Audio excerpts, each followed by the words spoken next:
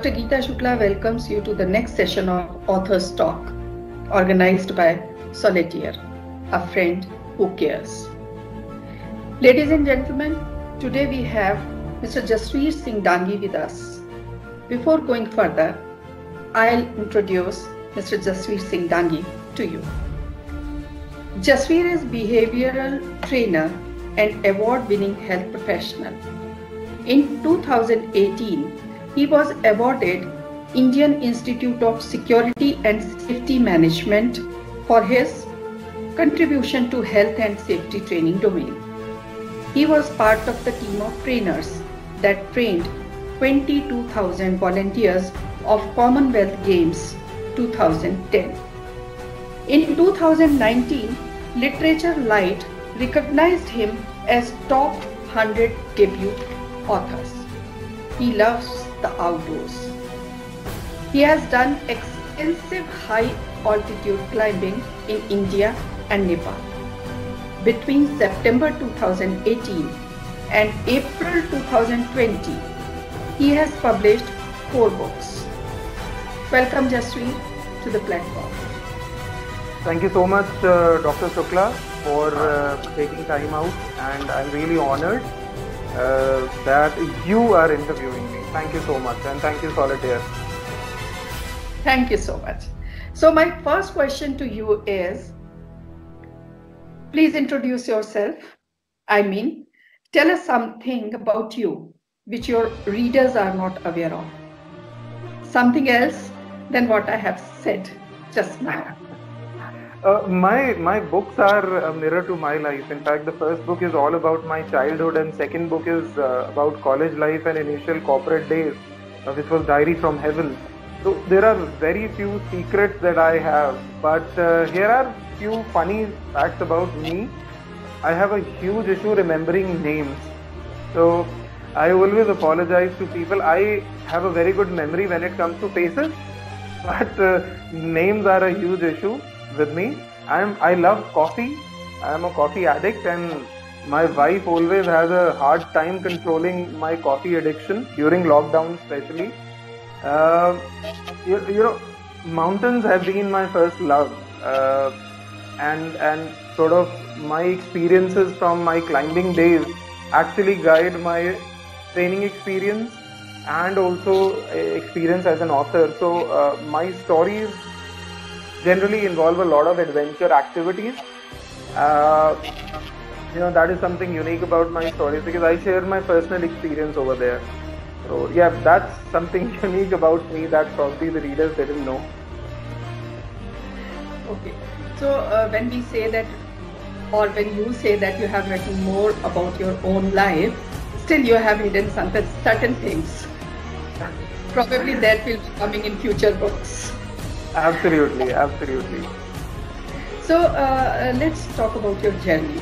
When and how your journey as a writer started. Uh, writing, writing had always been part of my life. I had always maintained a daily diary, daily or weekly or monthly. Whenever I would get a chance, I would jot down my experiences over there. But for about five or six years, I had stopped maintaining a diary and. Uh, writing actually started accidentally. Professional writing, uh, or, or rather becoming an author, happened accidentally. Uh, I was going through some issues in life, and uh, so to speak, my midlife crisis came in at 35. You know, I was shocked because when the general age of midlife crisis is about 40 to 45, I started feeling that crisis at the age of 35. I was completely lost in terms of professional and uh, started affecting my personal life as well. Uh, so that is when I thought, why don't I? And, and I went to a lot of people, uh, counselors, psychologists. Uh, there were a lot of people who were giving out free advices also. But you know, there is this idea in me, and that has been inculcated in my family. My dad also believed in that. Firstly, look for solutions within yourself before you know talking to somebody else. So I said, I'm getting a lot of ideas right? And some of them, those ideas involved spending money also. You know, going to a counselor was about 500 to 1000 every visit. So I thought, why don't I listen to dad for a moment? My dad passed away in 2015. So he was not there to help me, but then his thoughts are always there with me. I said, okay, let's start, you know, uh, let's start looking for some ideas from inside me, and that's how I started writing. Writing started off as a way to sort of take out negativity from my brain, out of my brain. And I started writing random stuff, political situation in India. I started writing about uh, my professional life. And then suddenly i you know uh, came across a few pages wherein i was writing about life in 80s so i said yeah that's a wonderful idea. Why don't i recall my childhood? I spoke to mom uh, my mother i spoke to my elder brother and sister. I spoke to manpreet meenu as well my wife. And you know during discussions i started writing. And by the time i realized within about a month's time i had about 55000 words written. Uh, typed in my you know word file. Yeah. You know that struck me. I said wow 55000 words in a month. That's really amazing. Then i shared with a couple of uh, publisher friends and they said this is a wonderful idea. So that is how for the first time i thought yes i can also be an author. And uh, that diary became version one and a half my first book. So that's how my journey started as an author. Okay, uh, quite an interesting journey, and especially when you say that you were feeling kind of burnt out in whichever field you were working, and then you started looking uh, for something new for yourself. And one thing which I really appreciate and like is that that you reverted back and you started looking guidance from your parents and your father was guiding you. Though he was not present, he was not alive at that time, still uh, you were taking um, uh, help from his teachings earlier to you. His guiding force behind you was your father. And that's really interesting and that's uh, really I appreciate it. Because most of the time nowadays I, I am finding that kind of disconnect among people. They say that our parents don't understand us but you you are saying that your father probably understood you more than anyone else absolutely absolutely and dr shukla i must tell you that how this self-help book is different uh, mm-hmm. most of the books self-help books or any motivational books will talk about quitting the thing that is actually bugging you and looking for something new mm-hmm. but with this book, what I have done is I've asked people not to quit it. I've asked them to do it differently. I had quit a lot of jobs, you know. I started off in call centers, then became a trainer, behavioral skills trainer, and then I moved into health and safety domain. So the first thought that came to my mind is if I quit now doing whatever I was doing, yeah. what is the guarantee in the next five years if I start something new, I don't get bored with that? So exactly. taking that as a cue and taking my father's life as an example, he worked for 35 years in the same job. And you know, his dream was to do business. But then he was in government job and because of family pressure or societal pressure, he kept on doing that job for 35 years happily. Yes. So that People sort of that. became became a borderline for my or benchmark for my self-help book there are people who will tell you, you know, quit your job and follow your passion. I absolutely agree. You should follow your passion. But trust me, if you were not good in your job, you will not be able to do good in your passion also. That's my belief. So, firstly, give your 100% in whatever you're doing. And if after that 100% you feel you can't do it, then you change. But quitting something midway is something that I have advised people against in this book, and it's a bit controversial, right? Mm-hmm. But I strictly believe in that idea. Good. One need to believe in one's own ideas and follow that also. Exactly. So my, exactly. my question next to you will be, what does storytelling mean to you? What according to you makes a very good story? you know, uh, when when you talk about storytelling, I remember a very co- very nice quote by Savi Sharma. Everybody has a story to tell. You know, everybody has a story inside them. It's Yes. just a matter of getting it out, putting it in Mhm. words or through visuals and presenting it to people. Storytelling to me, you know, is about sharing your thought process, sharing your ideas, sharing whatever is in your mind. And to me, a simplest ex- uh, example of storytelling is communication. Correct. I think everyday communication, people are mistaken. People say communication is different and storytelling is different. I think both go hand in hand. If Yes. you mix communication and storytelling, I think people will understand you better and people will be able to uh, you know give the answers to you in exactly the same format which you see. So I think storytelling to me is about communicating whatever is in your mind in, in, in the most effective manner. Right. Uh, when you were telling all about this, and uh, somewhere I heard, read that you are a movie buff also, and Yes. in your book there are certain quotes related to movie. And this our discussion reminded me of the movie. Uh, I'm forgetting the name, probably Khoobsurat. Uh, or Yes. Rekha? Rekha? Are we talking about Rekha's movie? Rekha's movie, yeah, Khoobsurat. Yes. think. Khoobsurat. Khoobsurat. in which uh, they have very interesting communication in the while sitting at dining table and then Right. everyone in poetry. Kafiya. Kafiya. And that is very interesting way of communicating with each other. And everybody there was so spontaneous in that. I think it's an art can be built if you start Right. communicating in that way.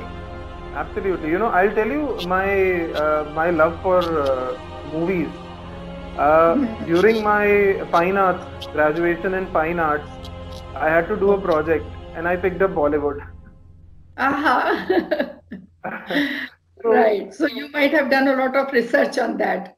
Lot of research lot of research uh, you know those days in, in 98 99 we did not have internet so i had to do sit in library for hours reading through biographies reading through en- encyclopedia about indian movies and i i submitted my project. It was greatly uh, you know appreciated and uh, i still carry that. You know my mom used to quote all the time कि जितनी मेहनत से तू फ़िल्मों के dialogue और गाने याद करता है अगर तू एजुकेशन में भी उतना ही ब्रिलियंट हो जाए तो nobody can beat you my mum always believe Yeah, this is also reminding me of what we call as passion about something. And if you are passionate about something, you will not have to give extra effort to remember things. True It is you are not passionate about things, then you force yourself to remember things. Right. So now coming to uh, next question. What is the process of your writing? Are you a disciplinarian writer? Or it depends on your mood?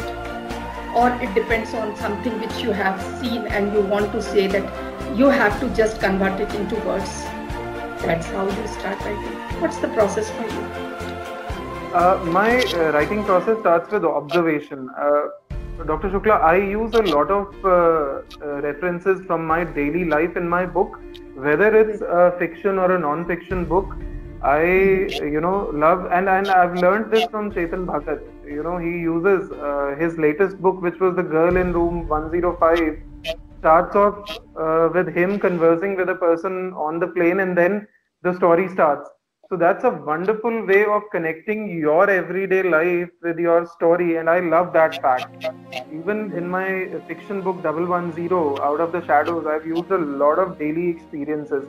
So my writing process essentially starts with observation.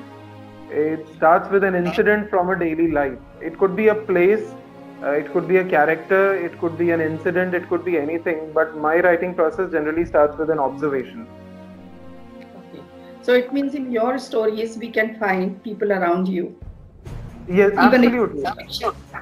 absolutely, absolutely. And I'm not a disciplined guy. You know, I keep changing my uh, settings for writing. Sometimes I find writing in home comfortable. Sometimes I find writing in office comfortable. Sometimes I take time off and sit in a park, and that is comfortable. And something that has really worked well for me is Delhi Metro. Okay. Yeah, Delhi were Metro in the last six months has given me two books. Mhm. So how you manage writing in metro? It's so crowded, isn't it so? Now, I have a smartphone. Uh, if you, if anybody picks up my smartphone, I have a notepad in it and full of uh, notes from my observations.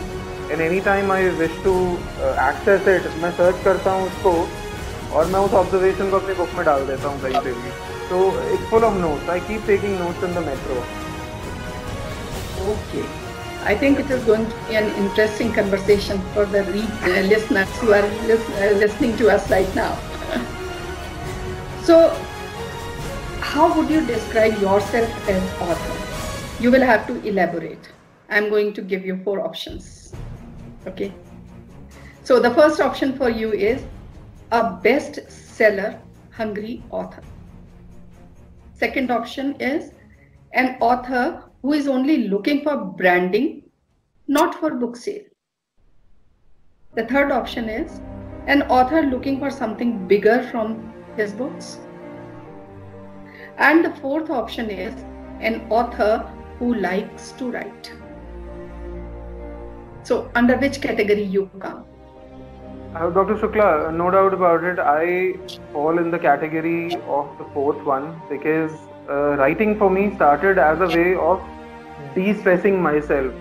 And, uh, you know, till date, writing is all about taking the trash out of your brain and putting it in paper, on the paper in some form or the other. So I'm a writer who, you know, I'm an author who writes to keep myself fit right? I am the fourth kind, no doubt, no doubt about it. Okay. So, if I ask, since you are in writing, and I, I am having a firm belief that if you start writing before that, you might have read well. So you must be avid reader also. This is what I feel, what I think. Here's here's another fact, and I was saving it for this question. Yes. This is Okay. secret. I am not an avid reader. In fact, before I published my first book, and by the time I had reached 55,000 words, and you'd be surprised to hear this, I had not even read a single book. Never in your uh, life. No, never. Except for my textbooks, I had never read a novel, I had never read a book. In fact, I started reading a book by Louise L. Hayes, which is called You Can Heal Yourself. After my father passed away, somebody suggested you should read that book. That was a wonderful book, and I, I found it to be really interesting. You know, when it comes to self help, I think she's the champion, Louise. Uh, but I could only finish about 60 pages of that book. And after that, I did not even open that book. I mean, I don't even remember opening that book.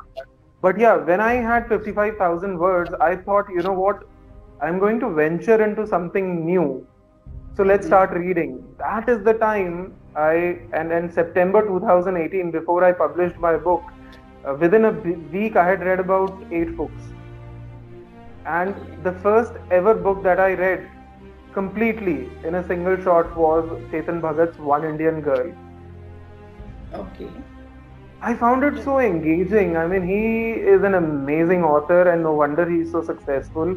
I loved his writing style, and after One Indian Girl, I read a book about Netaji, uh, which is called Netaji Living Dangerously by Kingshuk Nag. Uh, amazing, amazing research Kingshuk did, and that was a wonderful book. In fact, that book motivated me to write a thriller, Double One Zero. Uh, I read a couple of Ravinder Singh's book, uh, and then of course uh, Mark Manson's The Subtle Art of Not Giving an F was quite famous those days. I read that. Uh, Ron Dahl is an amazing, you know, his books have got amazing illustrations. Uh, I read Matilda. So within a span of about a week, I read a lot of books. Uh, and then published version one and a half. After that, I've been reading one or two books, maybe in a, in about six months. So honestly, I'm still not an avid reader, and that comes as a surprise to a lot of my readers. Yes, it's a surprise to me also. But anyway, if I ask you to just whatever you have read, maybe 10 books, 20 books, 30 books till now, 40 books. If I ask you to just pick one book which is very close to your heart and which, if any time you can read, and if given a chance, you will recommend that to everyone. Just one. I recommend. I recommend everybody should read One Indian Girl by Chetan Bhagat. Uh, not just because it was my first book, but I, will tell you why. Radhika, the central character, you know, she does something that you can never expect from an Indian girl. And uh, towards the end of the book, and you you'll love uh, love the ending, Dr. Shukla. If you haven't read the book, I recommend that you read it. You will simply love the ending, and uh, it goes against uh, your conventional beliefs. It goes against um, every belief that society will tell you not to do, but then she did something which everybody would say no. So I love Radhika, and uh, her character is free spirited. I, I simply loved it. Simply loved it. Okay, thank you. After your recommendation, I'm sure I will also read it now. I'll find it and read it. Thank you. Thank you for this suggestion. So, which is your favorite format of the book? Because nowadays, so many books are coming in two different formats ebook or paperback. For me personally, if I say I prefer paperback, I just love that touch of the book, turning the pages. This uh, now I have started shifting towards ebook only because of one reason, and that is in ebook I can expand the font size to make it easy, easily readable. That's all.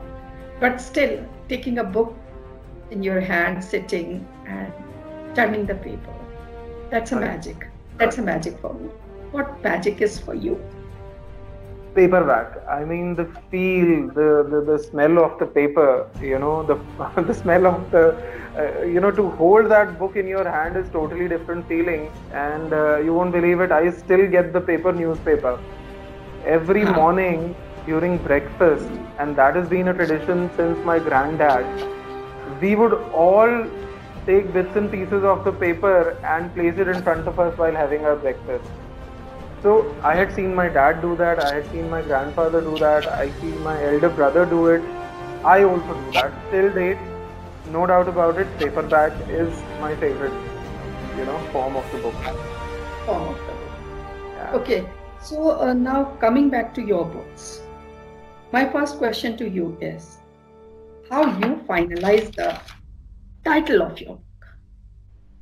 You have to elaborate on this. you know, I think that started with version one and a half, and people always asked me, what does one and a half mean? I mean, why not version two? Why not version three? So, you know, and and actually, I won't reveal the secret. The secret of version one and a half is actually mentioned towards the end of the book, but you know, version one and a half was something uh, different, and that has actually motivated me to pick up a very different, very niche topic for all my books. The latest book is called The Chronicles of the Metromaniac Chronicles, right? So, yes, most of my friends had to Google and find out if Metromaniac was a real word. Uh, so, it's confusing. It's different. It's thought provoking so i pick up my topics which are which are different and and actually which makes people think yaar kya hai iska matlab? Let's pick up the book and let's see iska matlab kya niklega. So uh, my the names of my books are kind of my marketing pitch. Right. So my next question to you is in version one and half you have described a few places from your childhood, and uh, you have described that very well. So, have you recently visited any of these places? What were your emotions when you were visiting them? Does any resemblance to your memories still there, or everything changed? Unfortunately, I have not been able to visit Santragachi, which is a suburb close to Kolkata, where where the story of Version One and a Half starts. But Nilokheri is is a place which is always close to my heart because I lived there for 10 years, and I visited uh, quite a lot. You know, because it's on main GT road. So while going towards Chandigarh, Punjab, you can always uh, take a you know uh, detour and go to Nilokheri. Uh, obviously it's not the same you know uh, i have even tried to uh, look beyond the wall and see कि क्या वो घर वैसा ही है the house is very much still there uh, okay. the house which is where the majority of the story takes place in version mm-hmm. one and a half it's still there but you know that feel uh, although it's nostalgic but then that feel is gone you know हमारे time में क्या होता था कि you get up in the morning आप दीवार आपके जा रहे हैं उस तरफ़ दूध लिया और फिर वापस आए। That entire thing is gone road roads are much smaller now it's it's a small town because earlier there were only two shops I remember now there are about five shops on the same road.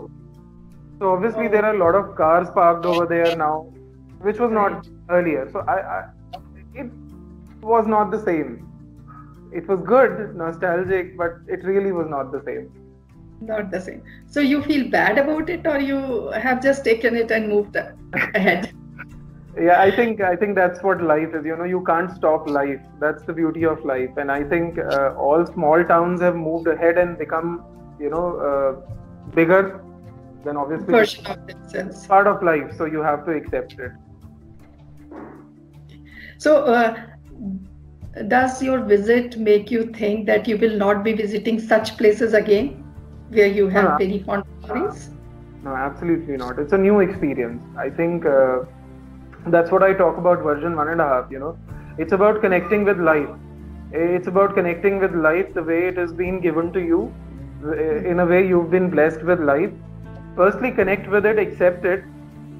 If you feel there is a misconnection, then change it you know that's what my main main theme is. Firstly give it a shot you know and mm-hmm. everything new that i see i connect and of course i would love to visit the same places again. And maybe establish a connection in a new way. Yes it's always possible to have new connections from old places also. Right. So uh, when i was reading about your books i came to know about the book which you just now mentioned the Metromaniac Chronicles. So initially I thought it is just about daily commuters and how they behave during their daily commutes. You connected it to their behavior in their workplace also. Have you followed them to their offices or reverse? You followed certain people from your office to their travel by metro? or is it just that uh, you started writing about people traveling in metro and then at later stages thought of connecting it to their office life? What was it? Yeah. Yeah, I mean, uh, I've been a very keen observer, like I said in the beginning. You know, I observe and use those instances, those uh, people in my book, those characters in my book. And initially, yes, I, you know, and, and this book was written in about five days only. I have not spent much time on it. Uh, uh, and and uh, 9th April was dad's birthday, so I had very little time to get something ready for his birthday. I, I do something, you know, on his birthday every time. So this mm-hmm. this was kind of my gift to him this year. So I didn't have much time. But then initially I started writing about different people that I see in metro. That was it. But then yeah. suddenly the trainer in me, uska mm-hmm. bulb jal gaya you know, it said, yeah, you're writing something about the basic character of a person. Yes. And the and I believe that the character of the person is same in the workplace as it is at home or while traveling. So mm-hmm. I said, why not connect that character, traveler's character, with the person sitting next to me in the office? So I I gave it about two days, and I used my own experience of about 18 19 years in the corporate and i thought mm-hmm. let's connect it and to my surprise i could connect the first three and i thought i can do this so i connected the next 27 so all 30 characters have actually the travelers have been connected with a typical workplace employee. So okay. it's a traveler and their mirror kind in a workplace. That's how Metro the Metromania Chronicles develops.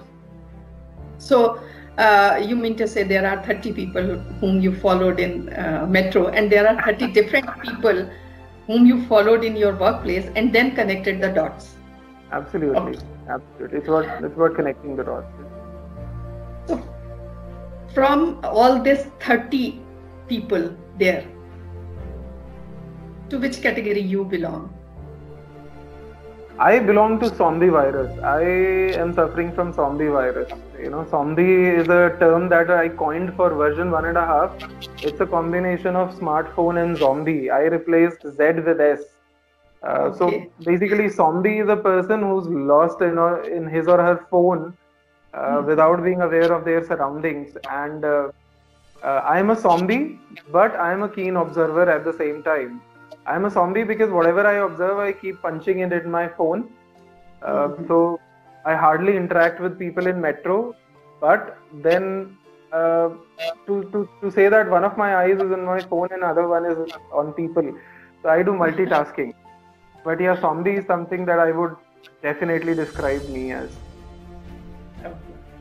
So coming to your books, let's talk about your book, Double One Zero. I'll request you to share theme of the book. What was the idea behind choosing it? What are the main characters? How it is different from your other books? And one more question will be how it is different from other books of the similar theme.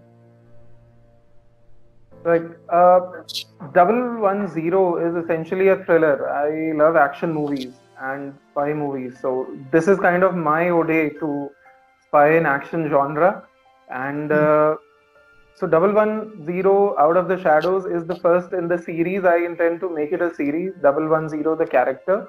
Uh, you know, how is it different from uh, my other books? Is this is my first completely fiction story. So finally, this has nothing to do with my life. First two books, one was about my childhood, other one was about my college and corporate experience.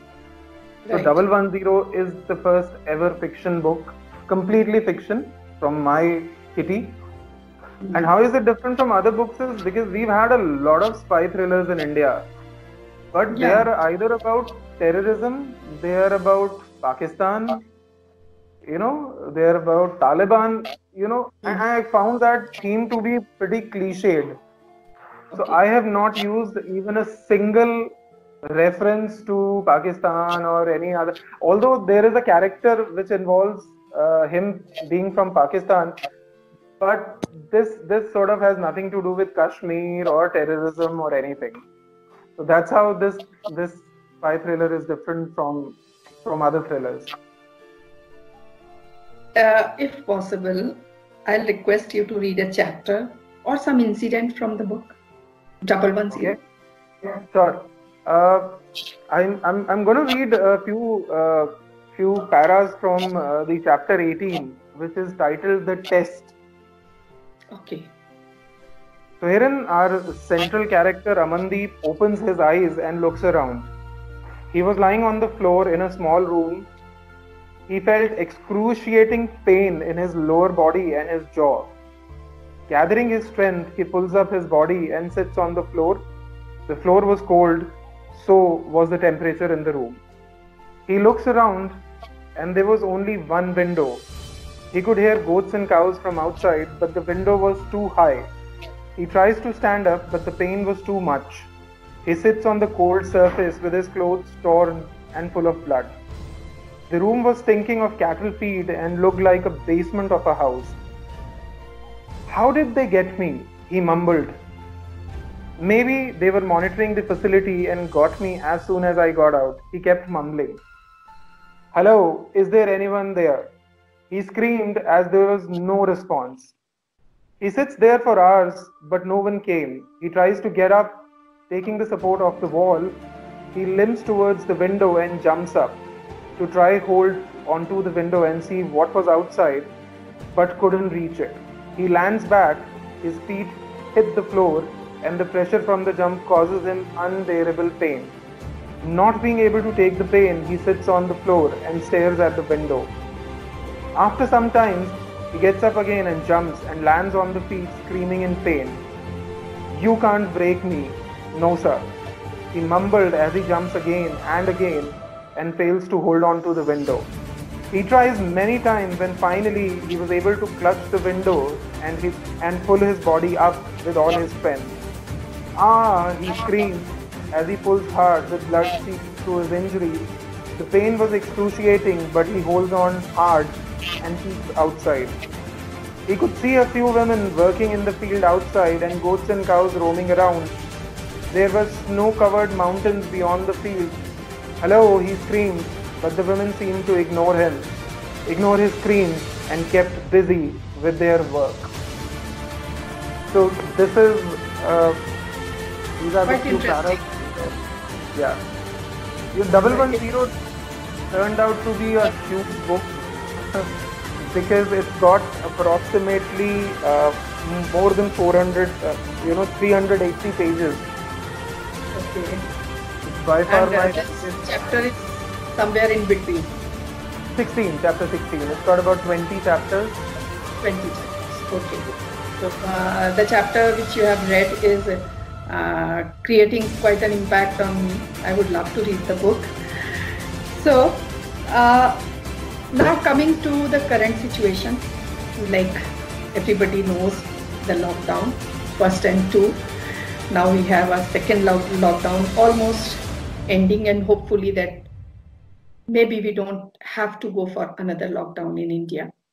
Hopefully. So should we expect a lockdown based story from you in future? Uh, Dr. Shukla, story yes, but book uh, definitely no. Because I know for a fact that the author bulb in everybody is on right now, and there are going to be a lot of stories to do with coronavirus, COVID 19 coming up. I was in fact working on a very different zombie based story.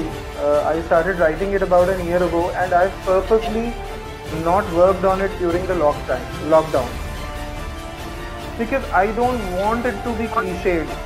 I I've written a short story of about 4,000 words, which I'm going to publish on Story Mirror, but definitely not a book. Not I, I I won't write a book about coronavirus or lockdown. okay.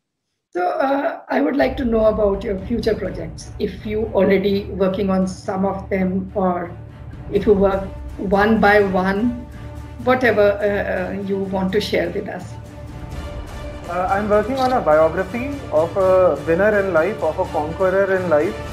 Uh, the book is titled Shehenshah, and uh, it's going to probably come out in uh, first week June. This is a very different project for me because I'm writing somebody else's story. So it involved detailed discussions with him, with his family, with his friends, uh, you know, with, his, with the people he interacted. I was introduced to him by a very close friend, so I have spoken to my friend also who's connected with him. So this is kind of a different challenge, and uh, this again is going to be a very short book of, of about 150 pages only. Uh, but then yeah, Shehenshah is going to be out probably in first week June or second week June. I know it is very difficult, very challenging writing biographies, and Yeah. especially the, uh, the writing of biography of the person who's still with you. Yes. Then it is quite a challenging job. Exactly, exactly. A lot of biases come in, but herein the benefit was I did not know the gentleman, so I did not uh, come across with any biases. It's totally unbiased version of his life, as per him, through my words. So mm my next question will be, what was most surprising thing you learned while creating a book? Maybe all books or maybe any one book, any special reference. Uh, special, something special. Yeah, Um, surprising. I, you I, and then you are surprised about maybe about yourself, maybe about your family during writing period? Something which has uh, really surprised you. Something that has really surprised, you know, being a non-reader, it came as a shock that I became an author. So, okay. Yeah, you know, writing has been phenomenal for me. It has been it has revealed so much about my own self that I was not aware. So while writing, you know, your mind opens up. That's what I've felt, and uh, it sort of gives you the peek in the parts of your brains which are brain which are totally uncharted, which you yourself have never known. Uh, so yeah, it's been quite revealing for me, and and being an author was the biggest shock for me and my family. Okay. So, do you hear much from your readers? What kind of yes. things they say? I connect with them extensively. In fact, my contact numbers are available. Uh, my contact details are available on, on my, all my books. So I don't uh, pretend to be that celebrity kind who does not interact with the. I interact with everybody. I mm-hmm. interact with people extensively on Instagram. I, will tell you about second book. Uh, people, so many people have always asked me, is Arun a real guy? Uh, what is Arun doing now? Uh, you mm-hmm. know, so Diary from Heaven showcased uh, drug addiction in a very realistic way. So people yes. wanted to know: is this guy for real? Uh, because there are very uh, realistic references in the book. So people have interacted me about Diary from Heaven, uh, Diary from Heaven, and Double One Zero also. they said, "Are you planning to make a movie out of it? Because it's written like a script." I've okay. never written a script right i have never seen a script so this mm-hmm. came out as a again a surprising Surprise. skill that you know that people think that it's it's actually a script of a movie mm-hmm. so yeah right. i've got really warm feedback from people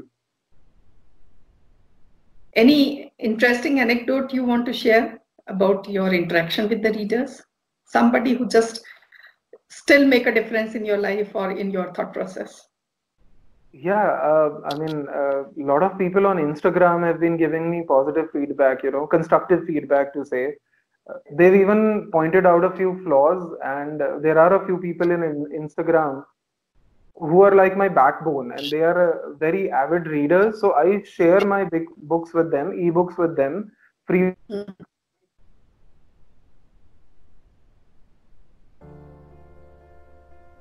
You know, reader feedback matters a lot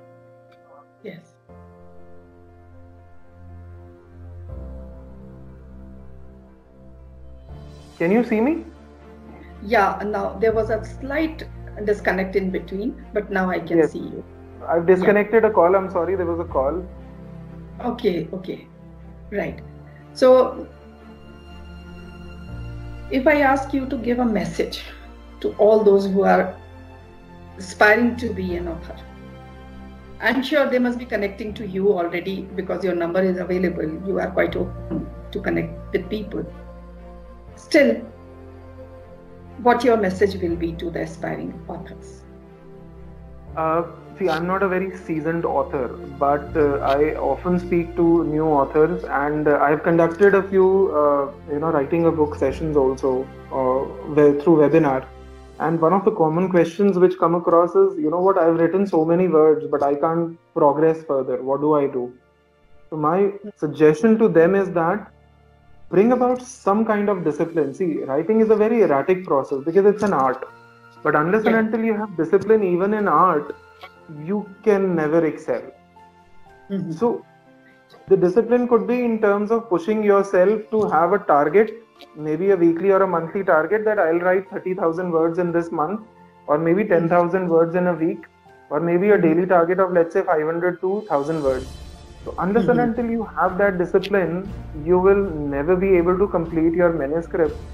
And second suggestion that, that I give to my um, to, uh, to new authors is never give up if you at all feel that you are out of ideas, try doing something new. Try changing your scenery.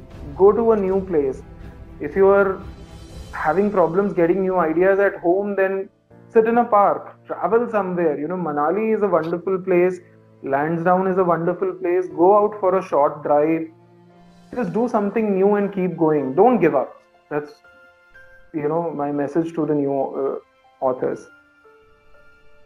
And any message which you have for your readers who are not the authors? oh yeah, you know, to write. you know, readers, uh, please experiment a lot. Experiment with new authors. Don't just stick to known authors. Uh, you know, new authors also come out with surprises. So read books from unknown and new authors, and read books of Indian authors because English literature is still not recognized across the world uh, when it comes to Indian authors. There are very few, you know, Indian authors who write in English like Salman Rushdie, uh, who've made a mark in the world. Uh, but people who are actually writing in India are also writing good stuff. So my request to them is that try Indian authors also when it comes to English writing. So uh, deviating from all those questions to an author, I'm asking to a person, Jasveer. Jasveer, what do you like to do when you are not writing? I observe people. I observe my surroundings. Uh, one of the one of the benefits that I have got is that you know earlier it was just observation and and going wastage. So it was like electricity being produced, but if you don't use electricity in a certain distance, it goes for a waste, right? So you have to use electricity. Same as if you don't use your thoughts for anything constructive, they are going waste. Uh, when I'm not writing, I'm actually observing people and getting ready for writing. So, so again, it becomes same. Exactly. So it, it boils down to writing. Writing. Yeah, it boils down to writing. so everything boils down to writing for you. Absolutely. And I would love to write full time. Right now, I have a job. I'm a profit okay. center head of a training company. Uh, but I would like, love to do writing full time and make it a profession. Hopefully hopefully i'm sure since you are so uh, dedicated towards this and you have that inside you to accept the challenge also. So i'm sure you will be doing that very soon. Very soon we will be uh, getting more books from you. Amen. In continuation to that a very different question i have in my mind. As a child when we, you were quite young, hmm. what were your thoughts that you want to be? What you wanted to be at that particular age? When all of us dream of so many things. I, I don't know how old I was, but I saw the movie Angad. You know, Angad was the first movie wherein Shashi Kapoor starred with his son. You know, and his son played a, a, a Sikh and uh, he learns to be a fighter pilot although he's scared of heights but then he struggles a lot and finally he becomes a fighter pilot. I thought that was the coolest thing in the world and every time anybody would ask me as a child kya banna chahte ho beta? I would say fighter pilot.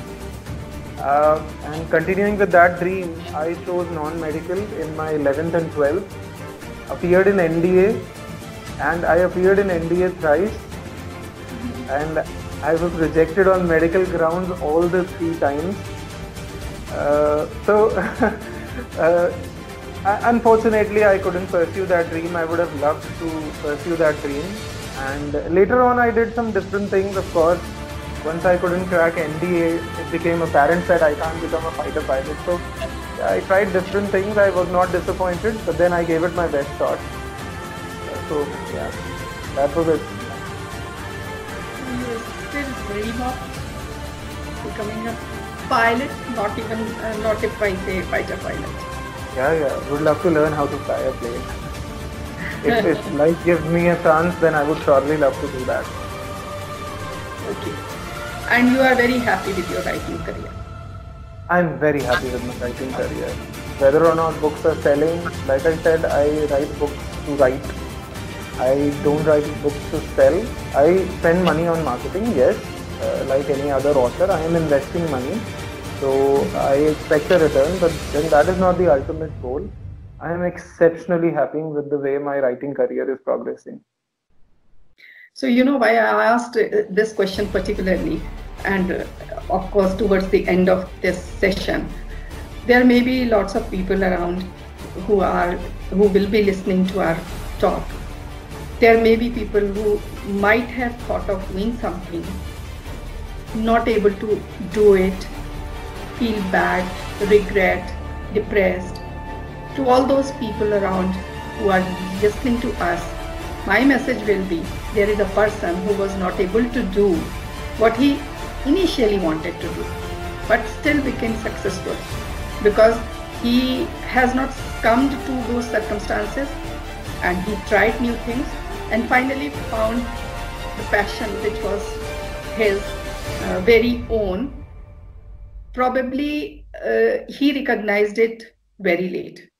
Why I'm saying that probably he recognized it late is when I was reading, I think the book one and half, version one and one. half, and there was a mention in initial pages that you used to do your homework though you were playing but you made certain deadline for yourself that okay throughout the vacations i am going to enjoy and then last 3 4 Last days one i will year. be able to complete my work right and Yes.